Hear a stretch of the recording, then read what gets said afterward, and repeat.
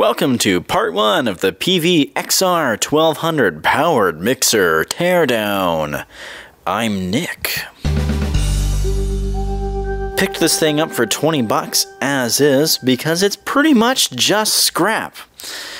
Um, besides the usual wear and tear of missing some knobs and stuff, there's you can tell that there's been heavy water damage. I mean, it's been road loved.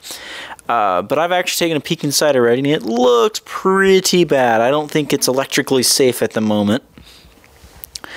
Uh, yeah, so you may think, well, yeah, it, it's a giant brick. What are you going to do with it? Well, my plan is to turn it into a synthesizer, or more so, scrap out all of the different pots and sliders and maybe some of the internal components. Uh, maybe you can reuse the VU or the graphic EQ depending upon what works. Uh, but for the moment, this is part one, and we're going to take a look inside. Also, I'm going to try to reuse all these jack connectors because that's got to be like a couple hundred dollars worth of jack connectors, I would imagine, with the uh, quarter inch XLR. Okay, well, about all the connectors. Anyway, first step for tearing this down, take off the four screws in the back. Mine only had one, hooray. Then go ahead and remove however many screws you've got on top here. And this is where you start noticing the water damage when you take the screws out. Go ahead and take off this bottom panel with the uh, cord harness thing there.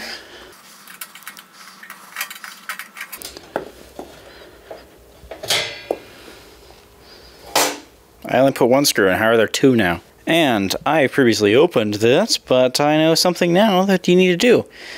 You go ahead and remove these wooden side panels here. Here's our lovely fan. You can already see the back of the boards and the ribbon going across, as well as jumper cables. For this teardown, I recommend a good electric drill to speed things up. No, I said a good electric drill.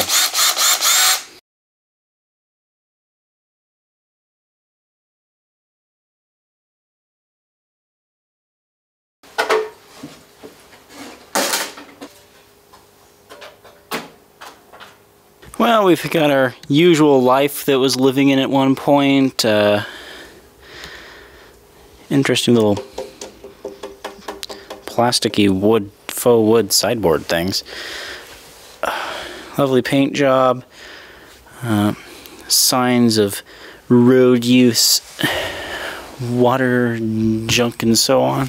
So here's our here's the bulk of our weight right here. This is a 900 watt transformer. Two large electrolytic capacitors. We'll see if they're any good at all.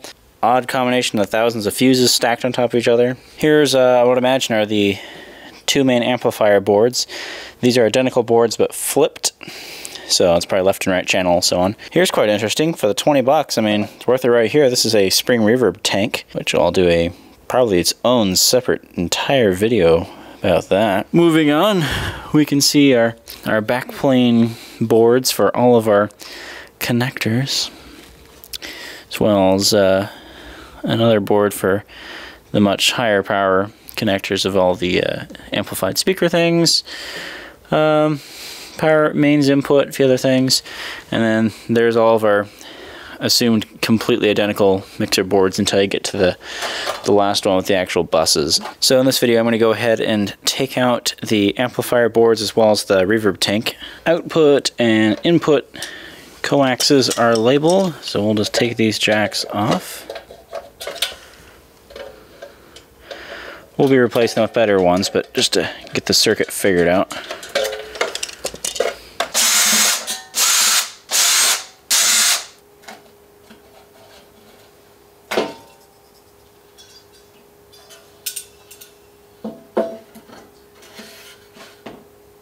Here's the reverb tank.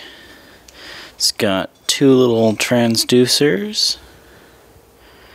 It sends some audio down those springs and basically makes fake reverb through a convoluted process we'll explain in our video. Also what's fun is that you can affect the coils directly and cause weird and strange sound effects. For the power supply we can assume I actually don't know the direction of that fan, but I assume it blew, blows air, intakes air from the bottom, blows it across the heat sinks under here, and then it just kind of wafts its way out the uh, back vents there. Uh, or it's possible they're, they're sucking air through. We will find out.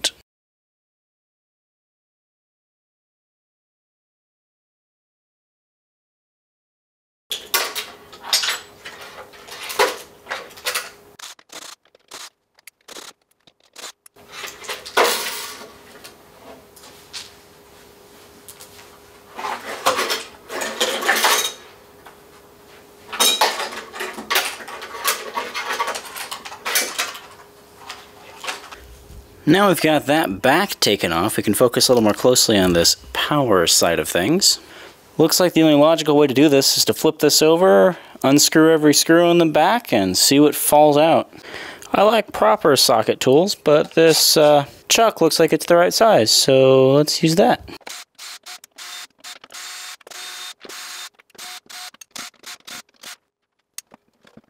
Nothing falls off because it looks like all the top screws have to come off as well and or only, either way. But now that we got the socket trick, we can take these off very quickly.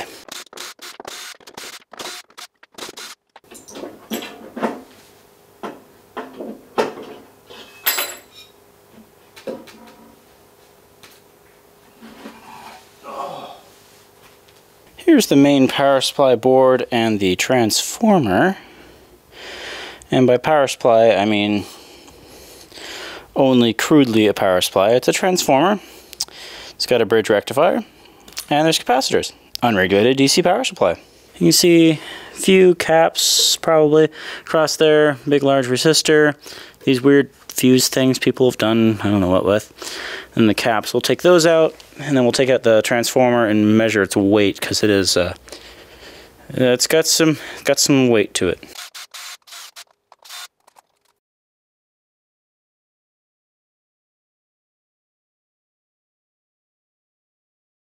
Here's our two capacitors. They are capacitor technology, 10,000 microfarad, 75 volt DC, and uh, without it saying no PCBs, we can assume these are crazy dangerous capacitors. And here's our transformer, Peavey Electronics, 17.4 pounds.